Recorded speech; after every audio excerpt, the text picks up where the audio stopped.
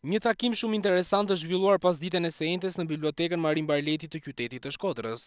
Në një nga sallat e tij të ftuar kanë qenë futbollistët e ekipit të Vllaznisë, stafi teknik dhe ai mjekësor, drejtues të klubit dhe gazetarë.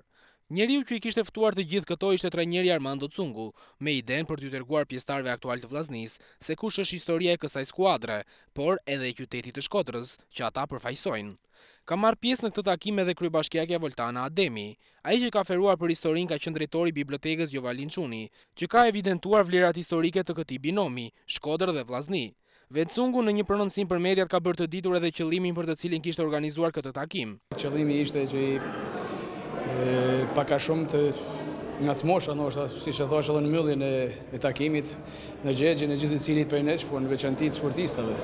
Aq më tepër të brezit të ri, Për përgjegjësinë që kanë për fanellën e Vllaznisë Shkodrës dhe për emrin e Vllaznisë dhe qytetit Shkodrës, duke pa se kush a Shkodra në shekuj, duke qenë djepi i kulturës, artit, sportit, pikturës, fotografisë, pra çdo gja a iniciu ka fillu dhe ka marrë jetë pikërisht në këtë qytet. Shpresoj që sadopak t'ia kena arritë qëllimit që t'jena akoma dhe ma të ndërgjegjshëm se ç'jemi për Vllazninë e Shkodrës, mënyrë që besoj që t'dalim me sukses këtë kampionat, duke mos rreziku për asnjë moment qëndrimin te kategoria dhe me urimin e madh nga zemra që t'jetë ndoshta sezoni i fundit që Vllaznia e Shkodrës përpëllitet Paktën këto pesë vitet e fundit në pozita aspak të favorshme dhe të këndshme dhe nuk nderon aspak emrin e Vllaznisë Shkodrës dhe qytetit tonë.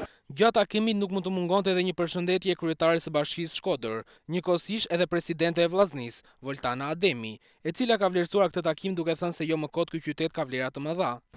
Sigurisht Vllaznia bën 100 vjet klubi i futbollit dhe sigurisht është vjen si rrjedhojë e një tradite, trashëgimie, kulture, lirie që Shkodra ka pas ndër vite. Që do të thotë, lind për herë të parë në Shqipëri dhe zhvillohet ma shumë ti në prej Shkodra. Dhe prej këtu pastaj shumë sporte të tjera kanë marrë zhvillim. Kur themi që Vllaznia është fanellë e randë apo emën i madh, sigurisht e, një pjesë e saj lidhet edhe me historinë që ka ky qytet. Takimi në bibliotekë vjen në prag të takimit të radhës me Teuton dhe futbollistët e Vllaznisë tashmë duken më të ndërgjegjshëm për përgjegjësinë që kanë për të përfaqësuar ashtu si duhet këtë skuadër.